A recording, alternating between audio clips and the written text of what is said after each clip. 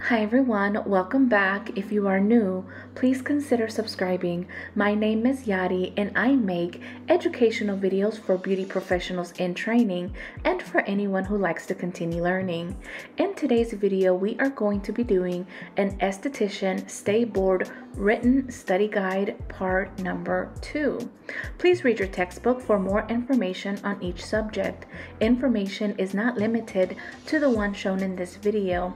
If you find the information helpful, don't forget to give it a like. Let me know in the comments if you are currently studying for your state board exam. Don't forget to share with a friend or anyone who you may think could find the information helpful. Now let's get started. Number one, what are telangiectasia characteristics? Capillaries that have been damaged and are now larger or distended blood vessels commonly called couperose skin. Number two, what is the average cell turnover rate? The average is 28 days, depending on a person's age. The cell turnover rate slows down with age. Number three, what is a common depilator? Shaving would be a very common depilator, along with the use of a chemical depilator such as Nair's, are all methods of depilation. Number four, how is a person's skin type determined? It is determined by analyzing the follicle, in other words, pore size. That would be the beginning step of determining a person's skin type by analyzing their pore size, their follicle size. Number five, what can aggravate rosacea? Well, spicy foods, caffeine, heat, sun, stress can all aggravate rosacea symptoms. Number six, what is the correct direction of massage? The answer is always massage from insertion to origin. Number seven, what are the apocrine glands? They are coiled structure attached to the hair follicle under the arms, genital area, sensitive to adrenaline and can cause odor. Number eight, what do you use to remove artificial lashes? The answer is oil base removers. Number nine, the disincrustation solution is what type of base? The answer is it is an alkaline base solution. Number 10. What does face makeup contour do? The answer is minimizes a specific area. Number 11. An esthetician can only administer up to what percentage of glycolic acid? The answer is 30% or less. Number 12. What eyebrow shape or style would best be suitable for a client with a long face?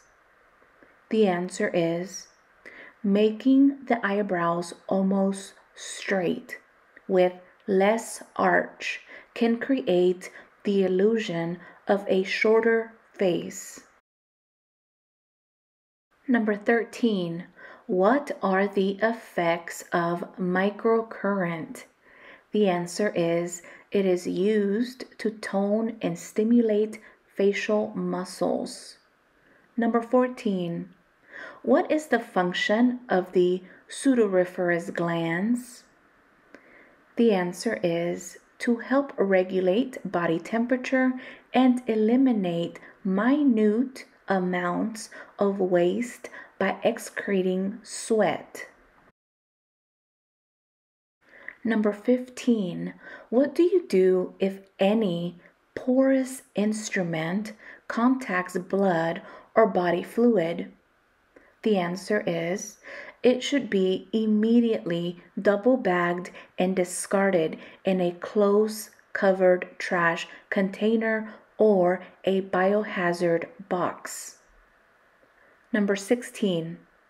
Why is an open comedone black? It is because it has been exposed to oxygen and oxidation occurs. Number 17. Clay mask helps with impurities and what else? The answer is it helps draw sebum oil from the skin. Number 18. Which vitamin is ascorbic acid found in? The answer is vitamin C. Number 19. What can cause skin conditions? Well, both internal and external factors can cause skin conditions. Number 20. Which form does the client sign to indicate they agree to the service and products that they're going to be used during treatment? The answer is a consent form. Number 21. Why should you not use high alkalinity products on the face? The answer is they are too drying to the face and will increase sensitivity and inflammation. Number 22. Massage should last how many minutes?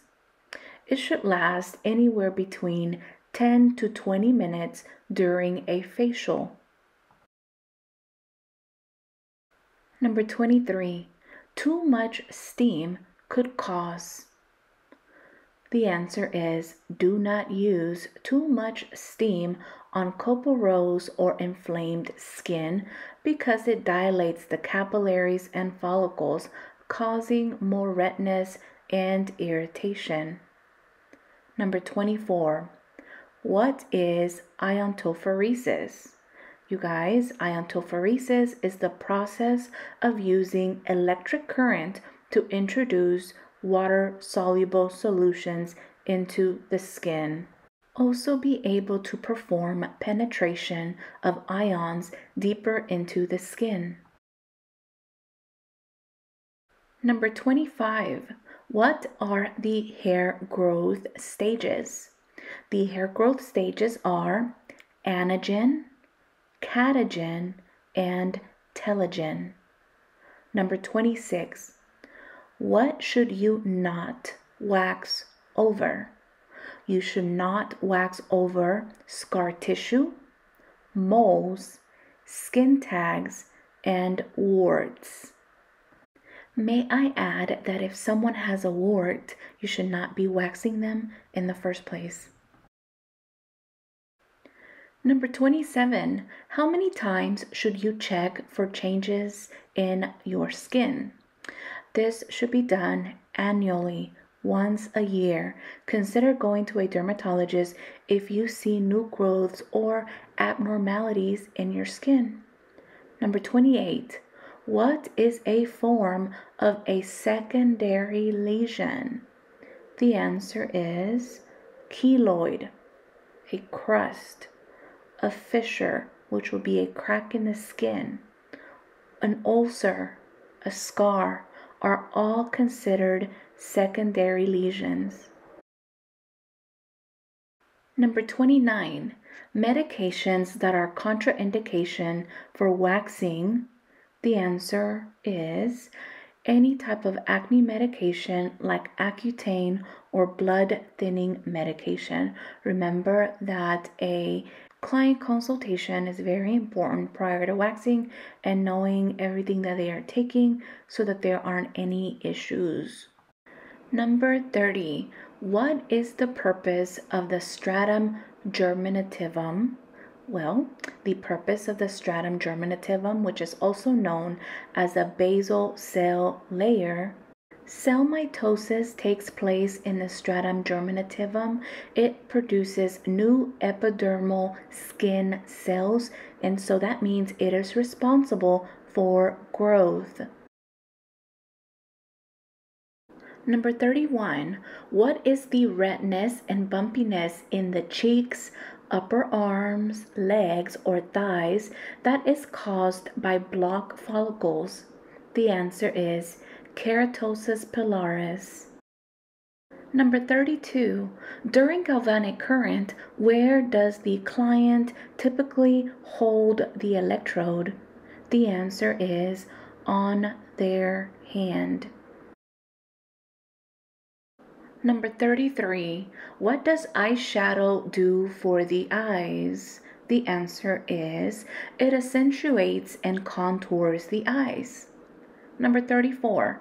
Under the Woods lamp, thin or dehydrated skin shows up as light violet purple. The answer is light violet purple. Number 35. If a client is allergic to aspirin, what acid should they stay away from because it contains aspirin? The answer is salicylic acid. That concludes this study guide. Thank you so much for watching. Thank you for your continued support. Let me know in the comments down below if these study guides are a little bit easier for you to follow along with. You guys, thank you so much. Let's keep going. Hey, let's keep growing. And I will see you on the next one. Don't forget to share, give it a thumbs up, and again, consider subscribing if you're not already doing that. See you on the next one.